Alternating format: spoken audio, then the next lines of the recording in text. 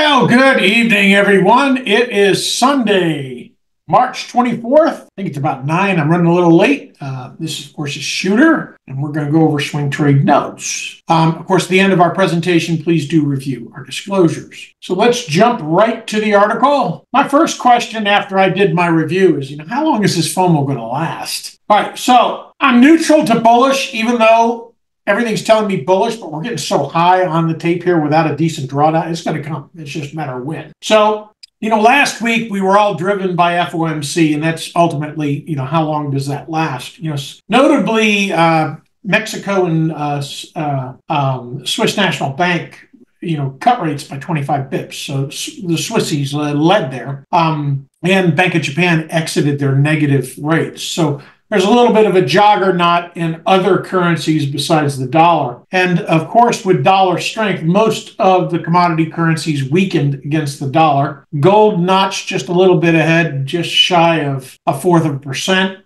And, you know, silver actually dropped about 2%. And, uh, you know, both the uh, U.S. indices and the DAX, you know, were up, you know, better than 1.5%. You know, bonds struggled with that rate decision, uh, closing a little bit lower on the week, about 4.21%. So, you know, looking at crypto, you know, I, I'm, I didn't add the chart here. I'll put it in chat, but you know, we came right off. It was shallow retrace. It looks to me like we're doing another run. So let me sort of focus on my thought here. So we really haven't gotten a drawdown with this look. And my question here is, is the, does the Fed want us above 105? A lot of resistance right here. So it's going to tell us if we push too much higher, you know, that should be more of a tailwind. And then we might see continued weakness in US equities. I would say maybe after Tuesday, maybe we do get a tune around Tuesday this week. So that's sort of my thought on the dollar. Otherwise, uh, you know, I'm still neutral because it's not really hitting us in either direction. Now, TLT, you know, we've uh, looking at RSI here. You know, we've got not really a confirmed low because it's higher, but we got divergent lows. I mean, even though that's more of a head and shoulders, left shoulder, head, right shoulder, and that is bullish. So there's a number of things, sort of a triple bottom in RSI, which is also pretty bullish. So I think we break above this one,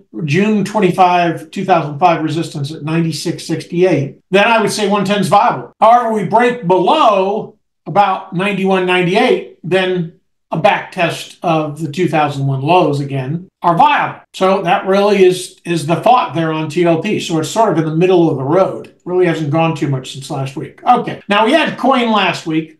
All right. Now we've done a little bit of a back test. And you know, all the volume, I mean a majority of the volume for Bitcoin has been go- coin has become the favorite child. In this whole leg up, favorite child. Now I have certain rules. I won't chase until I have a back test. So the only place I could really chase was down here. Not enough of a back test for me to chase. No back test for me to chase. Now I got a back test. Now we poked our head above the breakout line and we had FOMC week after that. So I was like, ah, I'm waiting to see, waiting to see. And honestly, I just with how many I've been watching chart after chart fail, you know, when I'm, I'm watching like a dozen breakouts and they were just poking their head above the breakout line they're rejecting. So ultimately, coin back to 239.16, I think, gives us a launching pad. However, I will say this if Bitcoin opens strong this week, they will chase this. All right. So right now, my target is up around 277 from where we are, but I'm not going to be that deep. I'm going to probably do 260s and 265s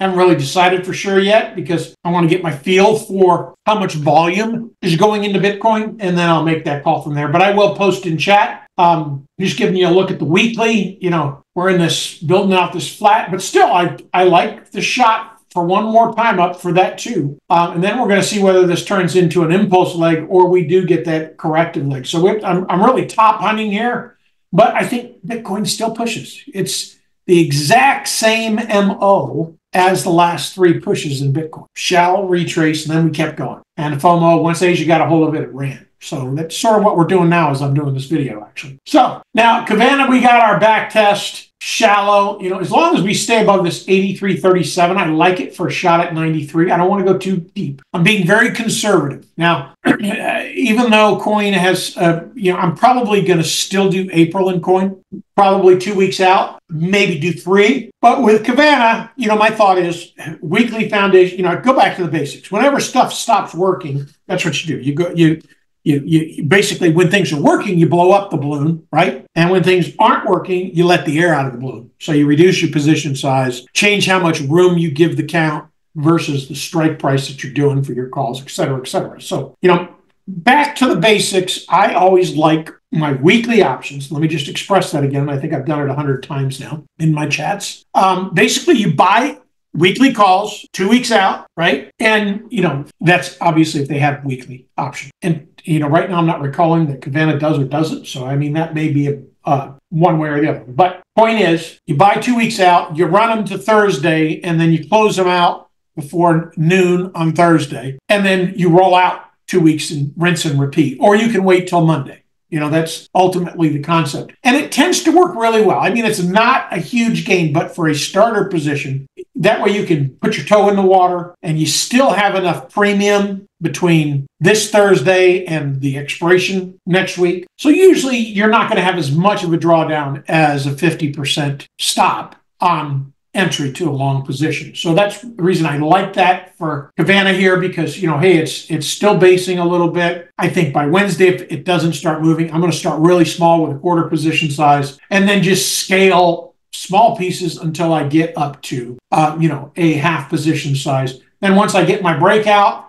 Then I'm going to be at a full position size, just looking at the week. So let me just review that again. So I'm going to start off, you know, with weeklies, um, and add on the breakout. You know, so Start with a quarter position. As long as it keeps working, add a contract, two contracts, whatever, depending on how many you start with. Typically, I like to break it into four. So if I start off with a quarter position size and I'm added, I started with four contracts. You know, honestly, in this case, I'll probably start off with eight.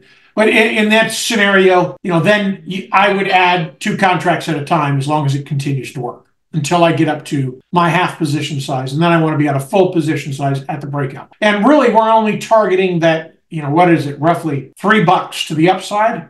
But at that point, it still should be 80 to 90%. So again, I'm slimming down, uh, you know, my outcome, my projection on where I want to be. I want to be shallow. Okay, now frog is another one. We got a breakout line above. and uh, even though we ended up on the short side, there were a lot of people chasing this last week, just like Carvana. So ultimately, everything that I'm looking at has been FOMO trades. So Coin, Carvana, and Frog this week are all FOMO. They're not unusual option activity. I'm looking at open contracts. I'm looking at the flow that was coming in last week. And consistently, they're buying the dip on these. And that's the same scenario with Frog. So I want to enter Frog. You know, uh, spreads aren't the greatest. Okay. But uh, neither was Bros either, and that worked perfectly. So, I mean, just ultimately, I just want to see one grouping of contracts of a thousand or more contracts in the next 90 day window of expirations and it meets my criteria. In other words, it's big enough to play in my book. So um, at this point, I'm going to target right at 45, right at the money a little bit here, and then do the same thing as the plan with Carvana. So,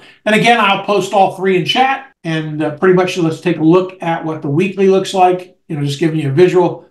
So, you know, ultimately our target is 51. But, you know, the one thing, same thing with Frog, they, they don't look like they're done here. You know, we're just basing around this resistance band here, this level right here. I mean, that's what we're doing. I mean, we went right to, what is that, 48? Excuse my yawn, it's late. So, but that's what I have for this week, folks. Great trading. Until next time.